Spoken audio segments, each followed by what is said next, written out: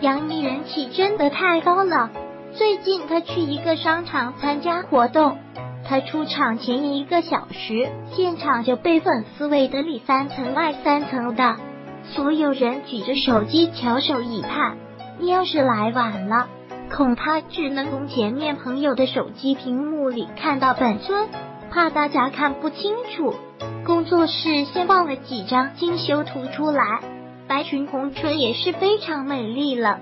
关键是看看这个头发，发量多就不说了，露出额头给你们看，发际线一点问题都没有啊！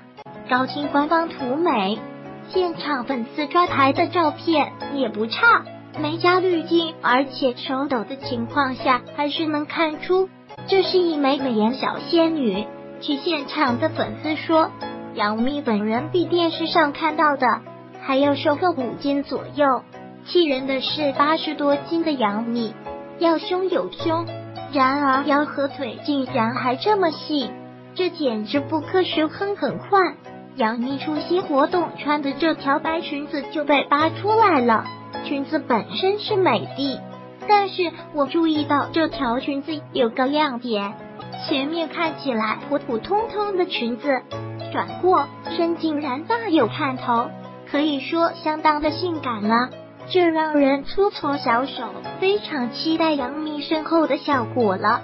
很巧，有粉丝站在了大幂幂身后的位置。拍到了背面，然而结果非常让人失望了。杨幂竟然在裙子里面还穿了一件白色的打底。哎，算了算了，没想到杨幂老师是这么保守的一个人货。仔细想来，杨幂确实不太走性感路线，一直都是一个保守的人。稍微穿了一点露肩的礼服吧，手还要遮住。而且私自改动礼服也不是一次两次了。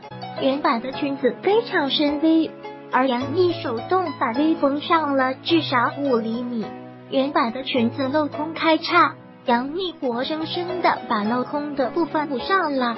不过也要理解，毕竟女明星爱穿的礼服品牌都是出自西方设计师之手，风格当然是比我们要大胆豪放的多。不少女明星都对太过性感的礼服做了修改，最多的当然是要把领口收住。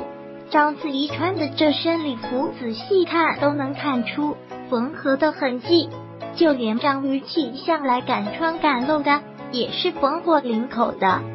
所以，能不能请设计师们，我们的女明星做一点人性化的设计考虑？